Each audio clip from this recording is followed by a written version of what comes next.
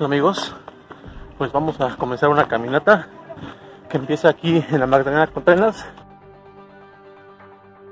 Pues acabamos de pasar el tercer dinamo. Está muy soleado el día. Empecé ya muy tarde, casi a la una. Vean, está padrísimo. Pues vamos a abastecernos un poco de agua para poder hacer un café más tarde. Esta ruta es conocida como la resbalosa, ya que en época de lluvia es enteramente muy muy resbalosa. Aquí ya he resbalado como dos tres veces y sí está bastante divertida. Pues aquí voy por el camino antiguo a la Coconetla. Es un sendero que sube directamente a la Coconetla sin rodear por la brecha. Lo intenté del otro lado, pero me tocó encontrarme con una pared. Necesitaba equipo para escalar y solo pues no me animé. Así que pude encontrar esta vueltecita y en teoría debería llevarme a la Coconetla. Así se ve la cara norte para ascender a la Coconetla. Acá arriba ya debe de estar el cerro de la Coconetla. Ya estoy aquí en una de las antecumbres de la Coconetla. Ya pude pasar la parte vertical. Tuve que rodear una pared de roca donde se tiene que escalar. Pensé que hasta ahí iba a quedar. Afortunadamente pude encontrar un sendero que nos lleva ya a la cumbre de la Coconetla. Vean cómo se ve la ciudad allá en el fondo. Este sendero era muy recorrido desde tiempos ancestrales y lo usaban los graniceros para poder subir a la Coconetla y rendirle una ofrenda a Tlaloc para poder tener lluvias, para poder tener agua, para que sus sembradíos, sus siembras no estuvieran secas.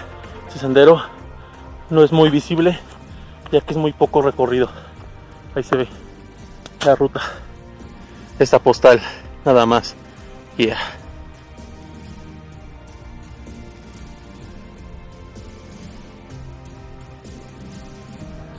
Y vamos a hacernos un cafecito para poder continuar con nuestra ruta de montaña.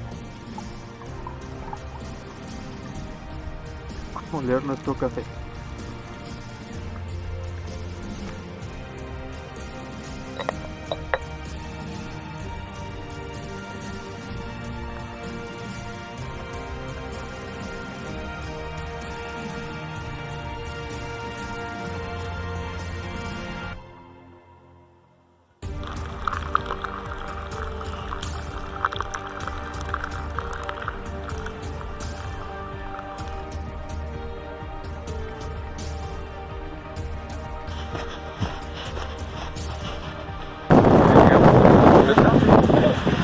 Hay un Tlaloc.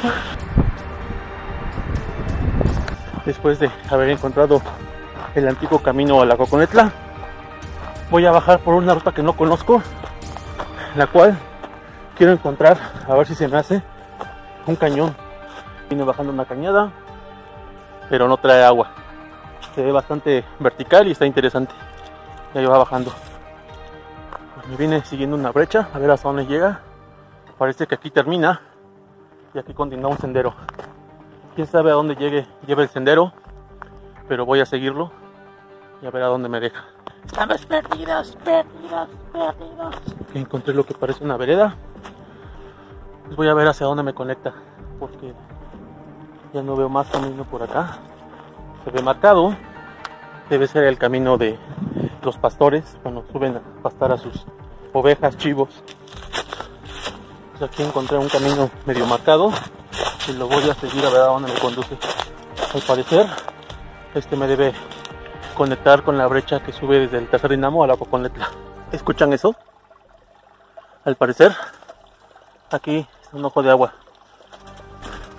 y emana esta parte de la montaña. Más arriba ya no hay arroyo, pura roca, un árbol y aquí es donde se gesta la vida. Pues traté de encontrar una cascada aquí arriba porque sí está muy vertical pero no aquí arribita nada más está el ojo de agua de este arroyo que se une con la cañada Pericos y de ahí con el río Magdalena pues ya pude conectar con la ruta de descenso. Ya encontré el camino que va al Tazardinamo. Ya pude salir de, de esa vertiente. Y ahora es puro camino marcado hasta Magdalena Contreras. Ya.